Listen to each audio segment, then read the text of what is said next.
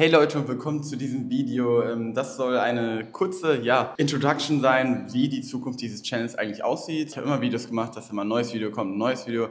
Aber ich wollte euch einfach kurz erklären, wie meine Gedanken sind, wie ich gerne mit diesem Channel hier umgehen möchte. Wenn ihr sonst dann irgendwelche Ideen habt, was ich in Zukunft machen kann, was euch interessiert, lasst mich gerne in die Kommentare wissen. Viel Spaß mit dem Video.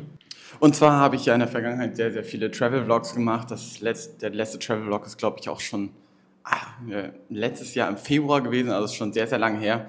Und mir ist einfach aufgefallen, dass ich diese Travel-Videos, wo ich wirklich vlogge und zeige, an welchen Orten ich bin, mir nicht mehr wirklich viel Spaß gemacht haben und ich mich dadurch unter Druck gesetzt habe und immer gesagt habe, ja, ich muss unbedingt weitermachen, ähm, YouTube läuft so gut und das lief es auch, aber ich habe einfach die, den Spaß verloren daran und dadurch habe ich mich zu sehr unter Druck gesetzt, dass ich immer gesagt habe, ich muss Videos machen ähm, und dadurch habe ich irgendwann dann gar keine Videos gemacht. Deswegen möchte ich jetzt einfach ein Format kreieren, was für mich einfach am besten ist, ähm, wo ich mich nicht unter Druck setze, was ich von jedem Ort aus machen kann und einfach euch auch mehr ja, Mehrwert geben und nicht nur, dass ich an schönen Orten bin, sondern wie ich dieses Leben eigentlich ja, mehr erschaffen habe, davon geträumt habe und einfach meine Gedanken mit euch teile. Und ähm, das heißt, es geht ja um den Channel sehr in Zukunft sehr viel um digitales Nomadentum. Also wie wird man digital Nomade?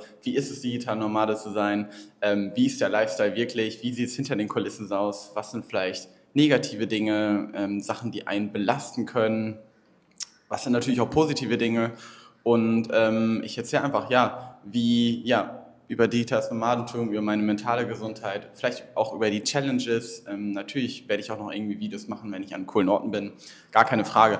Aber die Zukunft dieses Channels soll eher darum gehen, ja, viel um Mindset, viel um, wie kann man es wirklich schaffen, ja, seine Träume zu verwirklichen, weil mich immer noch, ja, oder mir immer noch viele Leute schreiben, ähm, Jonas, du lebst so ein krasses Leben, ähm, ich bin so neidisch, ähm, wie hast du das gemacht? Ich möchte auch einen Remote-Job, ich möchte unbedingt den, diesen gleichen Lifestyle leben wie du.